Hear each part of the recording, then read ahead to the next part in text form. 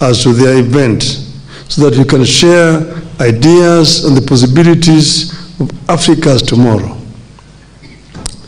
It used to be the other way around.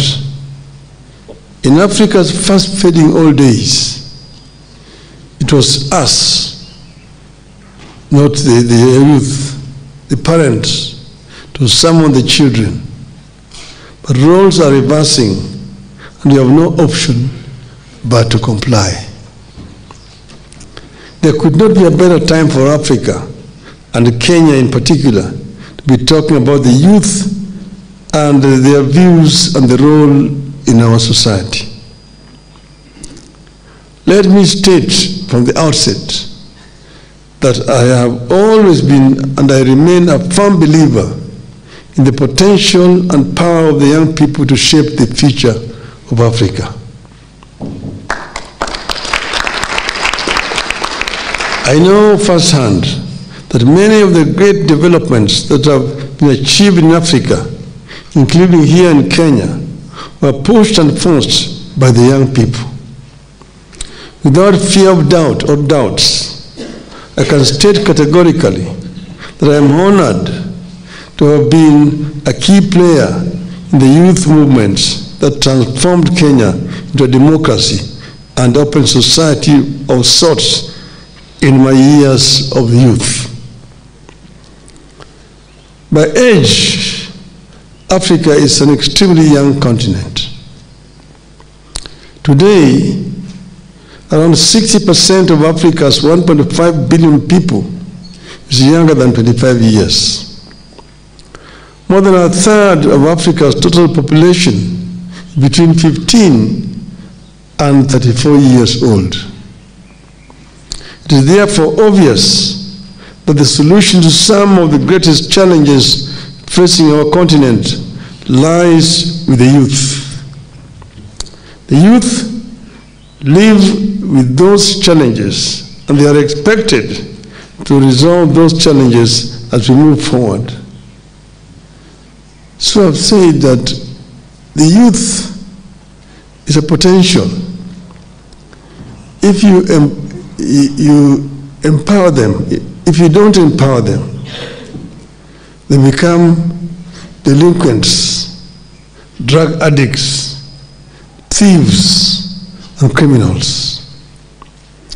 But if you empower them with the knowledge, access to knowledge, and access to opportunities, then they become a very powerful force for wealth creation a society. But the youth will not be able to provide solutions to our problems unless they are empowered. As a leader, I remain deeply committed to seeing a continent that provides opportunities for young people. I'm committed to ensuring that the youth are a change agents today as they make their way to being leaders of the continent.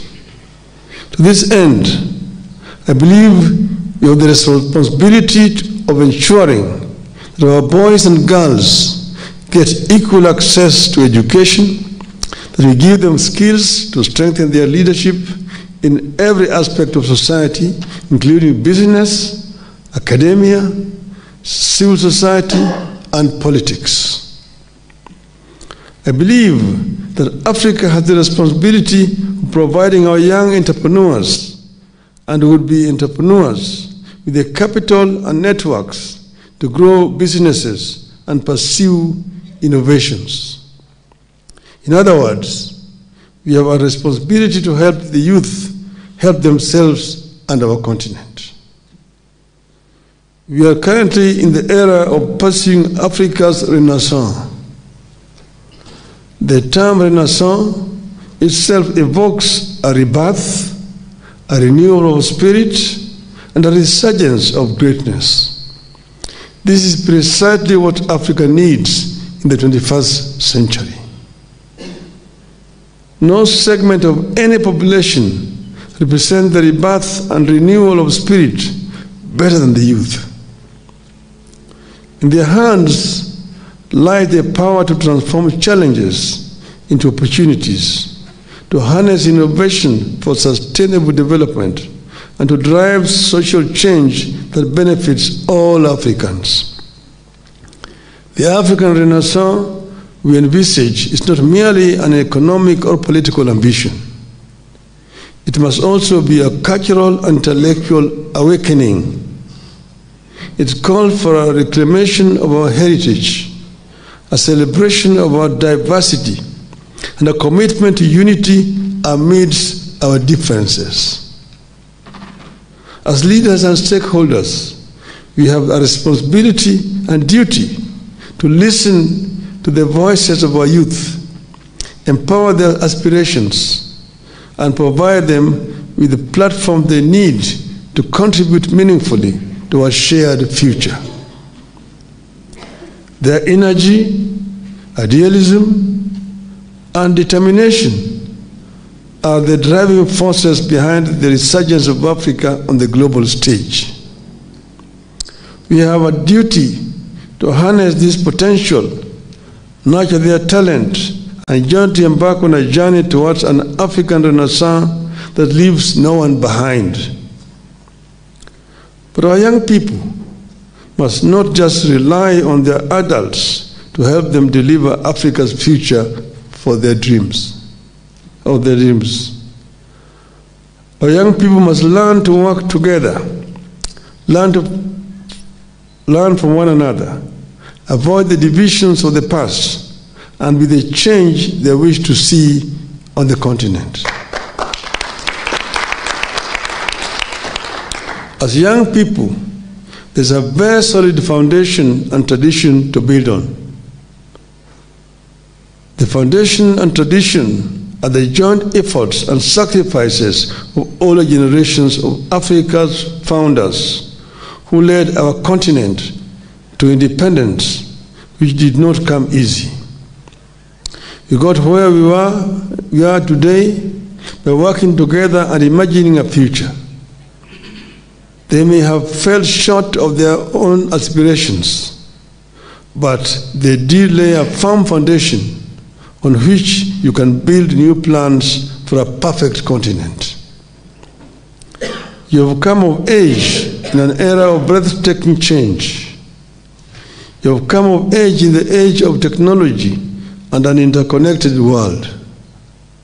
Today, the world has become a global village. When I was living in Europe, a letter, it's called surface mail, It would take three weeks to arrive. To arrive. Then came the email, I said, sorry, the airmail. It would take one week to arrive. Then came the express airmail, three days. And you are very surprised, you are very happy that it has only three days. Then came the, the telex. And then came the fax machine. And then came the um, mobile phone, analog. And then now here, today we are. The world has become truly a global village. Just within a very short period of time, in my lifetime. So these are fundamental changes that have taken place. I encourage you to resist attempts to isolate the continent in a globalizing world. I encourage you to ignore the notion that the world is controlled by forces that you can't overcome and control. I encourage you to immerse yourself into this world with a view to taking complete control of it for the sake of Africa. You must take a longer and more optimistic view of the world, guided by our resilience as African people. Africa is the richest continent on the surface of earth in terms of resources. Yet it is a paradox that the richest continent is also the poorest in terms of the living conditions of its people. But this is a situation that we can change. It is possible to change this situation.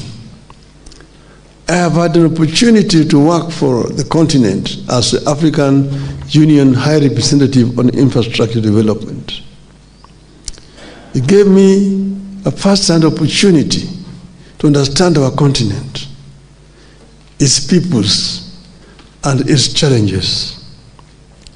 There we were dealing with major infrastructural projects which have been conceived by the African Union. The highways, trans-African highways, Cape Town to Cairo.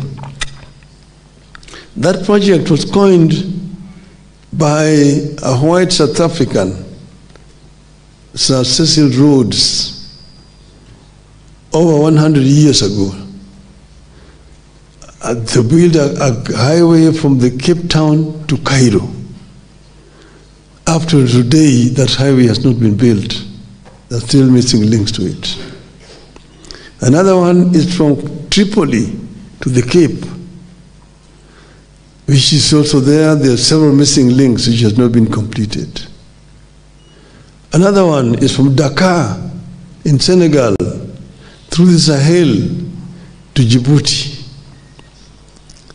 Another one is Dakar to Lagos, Lagos to Mombasa, which has also not been constructed. Then you have got Trans-African high-speed railway network. One from Beira in Mozambique all the way to Walvis Bay in Namibia.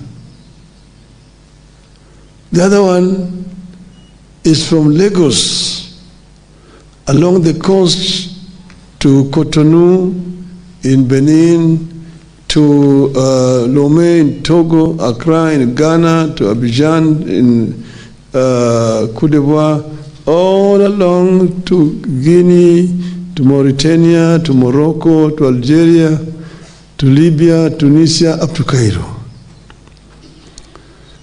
And then another one, which we had coined from here, LAPSSET. Lamu Port, South Sudan, Ethiopia Transport Corridor.